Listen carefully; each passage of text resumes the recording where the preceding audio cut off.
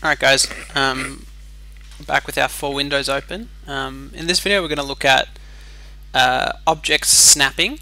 Um, so we know how to create uh, primitives and now we want to be able to move them around uh, in relation to one another accurately. So to start off this exercise we're just going to create a couple of boxes. Um, we can make these uh, any dimension you want and a right click to get back into that tool uh, make this one a bit bigger. And I might make a different shape. I might make a pyramid shape here.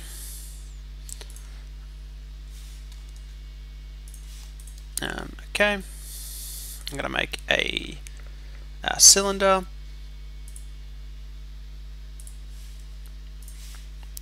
and a cone. Again, these are just some random shapes. Um, using those primitive tools. Okay, you'll notice um, that if we want to move this box to sit on top of this box, we can only really do that using grid snapping. See here it's kind of not quite right. Uh, we'll have to go into our views, uh, look carefully and align that. That's one way to do it, but uh, as you move into modeling, you'll notice more and more that your, your models don't actually conform to the grid everywhere. You'll have curved shapes, complex shapes, um, shapes with specific heights that don't fit into one millimeter increments. And that's where object snapping comes in. So instead of snapping to the grid, like we've been doing, you're going to snap to different objects. Um, these two uh, options are down here. So we've got OS snap and that turns on this toolbar just here. Um, you can disable and enable that by clicking there. What we want to have is uh, a few of these highlighted. So we want end, uh, near is fine, point, mid, um, that will give you a midpoint. If you hover all over these, you'll notice it'll explain what it does. So center object snap,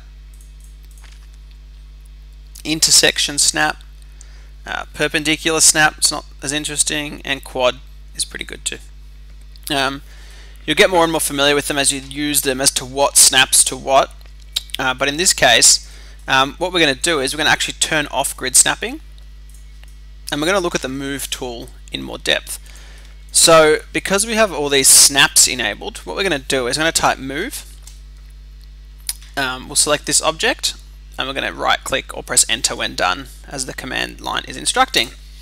Okay, the first thing is select a point to move from. So you'll notice that the cursor is now snapping to all those things we specified. We've got a mid, near, endpoint, and intersection, mid, near.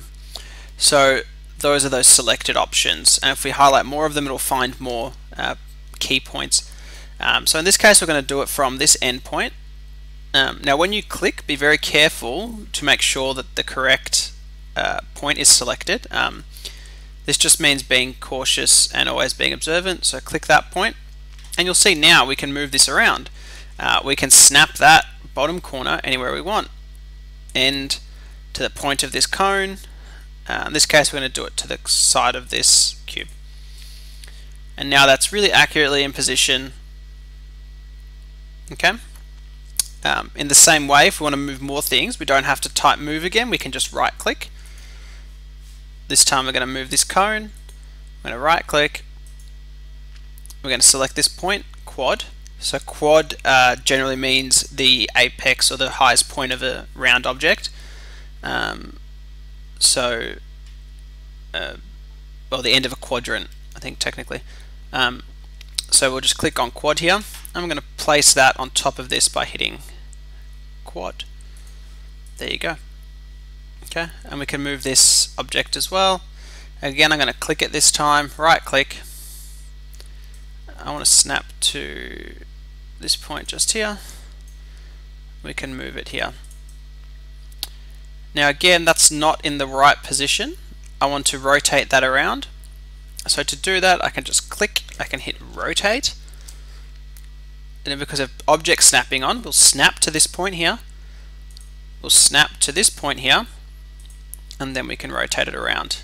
And again, because we've snapped to this point, when we rotate around, it just so happens it's going to snap straight to that point. Okay, and now that's all aligned. Um, with object snapping turned on, you can also create shapes. So let's click a box. In this case, I'm going to start at this corner. Again, we've got an end, an intersection.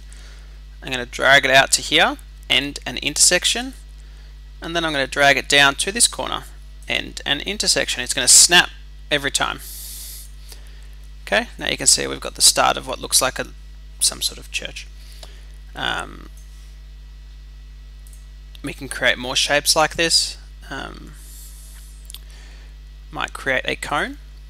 Um, in this case, I want it in the center of this square. So I'm going to go into my top view.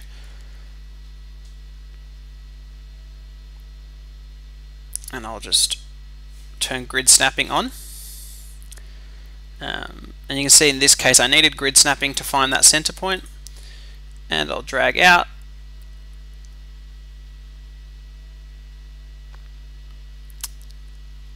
and you can see here where it starts to confuse the program. So um, this is where you need to be able to switch between grid and uh, object snapping.